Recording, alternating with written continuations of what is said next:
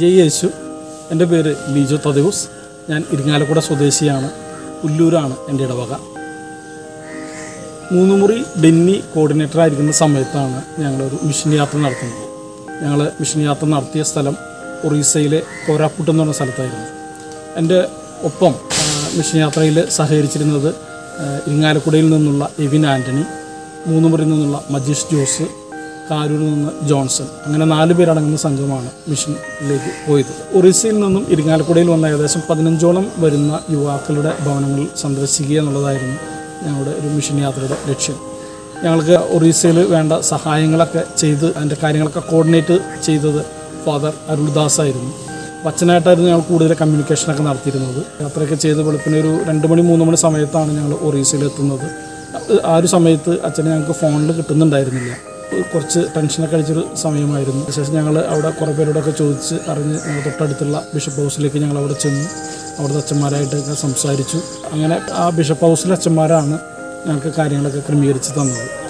പിന്നീട് ഞങ്ങൾ തിരിച്ചു വരുന്നത് സമയത്താണ് ഈ അരുൾദാസൻ എന്ന അച്ഛൻ ഞങ്ങൾ കണ്ടുമുട്ടുന്നത്. ആ ഒരു സമയങ്ങളിലൊക്കെ ഞങ്ങൾ കുറച്ച് വിഷമിച്ചെങ്കിലും പിന്നീട് ഞങ്ങളതൊക്കെ ഓർക്കുമ്പോൾ വലിയ ദൈവാനുഭവത്തിന്റെ സമയങ്ങളൊക്കെ ആയിരുന്നത് നൂറ് കിലോമീറ്റർ ഇരുന്നൂറ് കിലോമീറ്ററൊക്കെയാണ് ഒരു സ്ഥലത്ത് നിന്ന് അടുത്ത സ്ഥലത്തേക്കുള്ള സഞ്ചരിക്കേണ്ട ദൂരമൊക്കെ. കുറേയധികം യാത്രകളൊക്കെ ചെയ്തിട്ടാണ് ഓരോരുത്തർ വീടുകളൊക്കെ സന്ദർശിക്കും. അവരുടെ ഭാഷ അവരുടെ സംസ്കാരം അവരുടെ ഭക്ഷണം ജീവിത രീതി ഇതൊക്കെ ഞങ്ങൾ വല്ലാതെ ഓരോ യാത്രയും ഓരോ വ്യക്തികളെ പരിചയപ്പെടുന്നതൊക്കെ വലിയ അനുഭവങ്ങളൊക്കെ ആയിരുന്നു. അപ്പോൾ ഞങ്ങൾക്കൊരു ഞങ്ങൾ നാലുപേരും കൂടി ഒരു ദിവസം രാത്രിയിൽ പ്രാർത്ഥിക്കുമ്പോൾ ഞങ്ങൾക്കൊരു ചിന്ത വന്നു. ഈ ഒരു യാത്രകളും ഇവരൊക്കെ പരിചയപ്പെടുന്നു. നമുക്ക് കുറേ കാര്യങ്ങൾ കാണാൻ പറ്റുന്നുണ്ട് പഠിക്കാൻ പറ്റുന്നുണ്ട്. എന്ത് ഗുണമാണ് ഇവിടുത്തെ യുവജനങ്ങൾക്ക് നമുക്ക് കൊടുക്കാൻ പറ്റുക? അങ്ങനെ ഞങ്ങൾ അന്നത്തെ ഒരു ഒരു കാഷ്വൽ ടോക്കിൽ ഞങ്ങൾക്ക് ഒരു തീരുമാനമെടുത്തു. എന്തെങ്കിലും ഇവർക്ക് വേണ്ടി ഒന്ന് ചെയ്യണം. ഇവിടുത്തെ യുവജനങ്ങളൊക്കെ ഒന്ന് ഒരുമിച്ച് കൂട്ടി നമുക്കൊന്ന് സംസാരിക്കാൻ കഴിഞ്ഞിരുന്നെങ്കിൽ അവരെ കുറച്ചുകൂടി പരിചയപ്പെടാൻ കഴിഞ്ഞിരുന്നെങ്കിൽ അങ്ങനെ ഒരു ചിന്ത ഞങ്ങൾ ഞങ്ങളുടെ ഒപ്പം ഉണ്ടായിരുന്ന ജോസഫ് എന്നുള്ള അച്ഛനുണ്ടായിരുന്നു.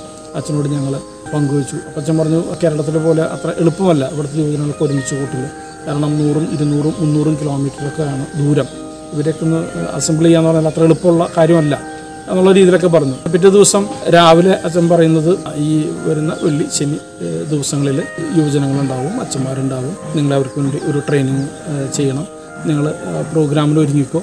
ബാക്കി എല്ലാ കാര്യങ്ങളും ഞങ്ങൾ തയ്യാറാക്കിയിട്ടുണ്ട് എന്ന് പറയുകയാണ് സത്യത്തിൽ ഞങ്ങൾ വല്ലാതെ പേടിച്ചു പോയി. കാരണം ഞങ്ങൾ ഇവിടെ നിന്ന് പോയ ആരും തന്നെ അങ്ങനെ ഒരു ട്രെയിനിങ്ങോ അങ്ങനത്തെ കാര്യങ്ങളൊന്നും ചെയ്ത് പരിചയമുള്ള ആൾക്കാരല്ല.